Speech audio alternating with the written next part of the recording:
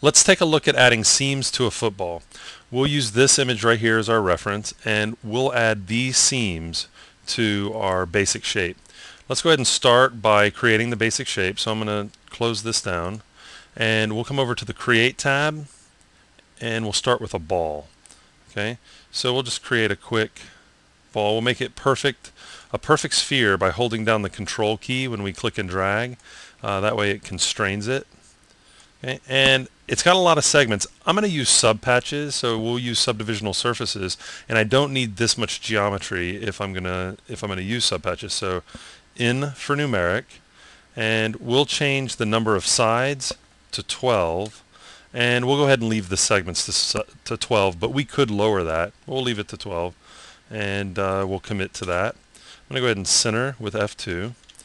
Okay, now, mm, it's kind of a fat football. We need to trim it down and we need to get it more of the shape. There's a bunch of different ways we can go about doing it, but a tool that I like to use is Spline Guide. Uh, it makes uh, light work of this. So I'm going to go over to Modify, Transform, More, and I'm going to choose Spline Guide. N for numeric, it automatically places these nodes here, and those are based off of curve points, okay? And it also right now doesn't know what axis to run it down. I want it to run across the X. So we can see here it's running across the X. I'll move this down so we can see that. Okay, so the curve points, I could use all of these, uh, but I'm actually going to lower the amount to 3 just because it'll help us get our shape uh, that much easier. I'm going to start with just moving this side down some, and you can see it starts tapering that off. And I'll move this side down, and it tapers that off and it's not quite the shape yet. I'm going to move the middle one down a bit and there we go we got our football shape. Now we're using um, these three handles the curve points to draw the spline which is then deforming the shape. I like the shape there so I'll go ahead and commit to that. Hit tab to turn on subpatches. Now we've got the um, basic shape of our, our football, but we need to add those seams.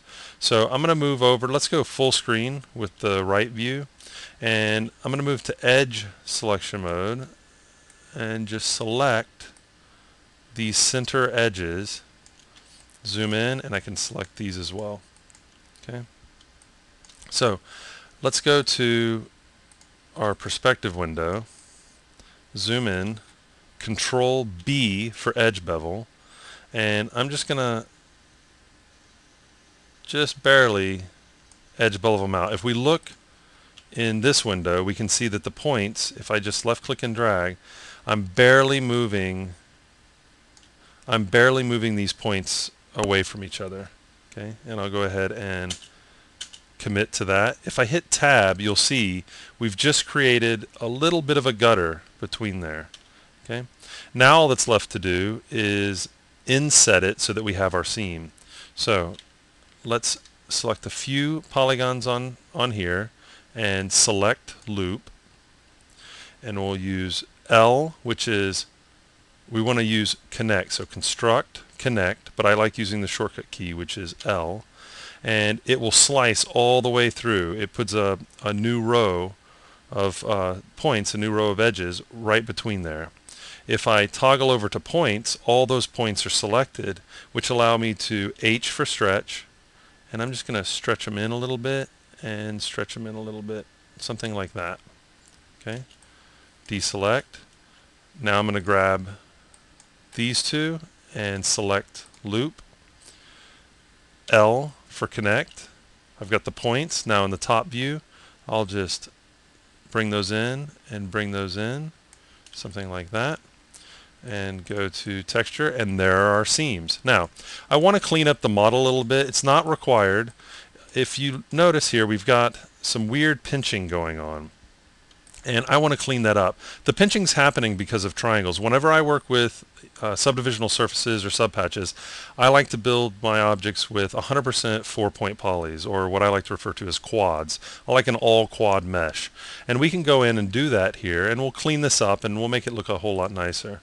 Okay, so We'll take a look at this and we're going to do each end, instead of having symmetry, on, I'm going to do each end separate, uh, independent of each other so that you can see the process uh, a couple times. So I'm going to select these two and hit Shift Z, which is merge polys, merge polys, merge polys. Actually, let's not do these two. Let's do these two and these two. That's going to put the two triangles that are left over right across from each other. And if I select these two polys and hit L for connect, it turns those into quads.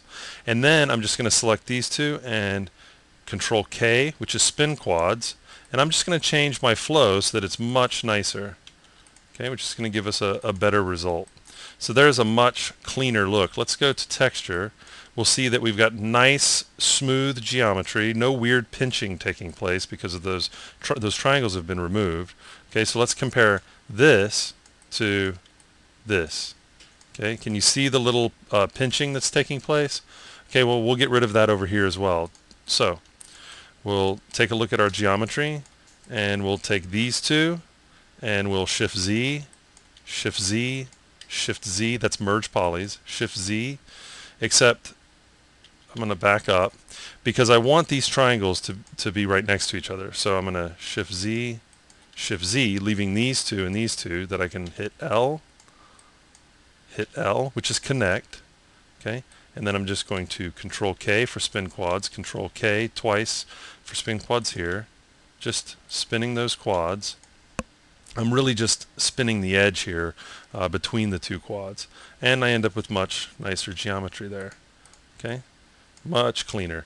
I'm going to do one last thing and we'll call this done. We've added our, our um, seams to our, our football. I'm just going to give it a quick surface so we'll call this football um, base. And we'll do brown. And then I'm just gonna grab these polygons and hold down shift and these polygons. And we'll just do stripe. I'll make them white.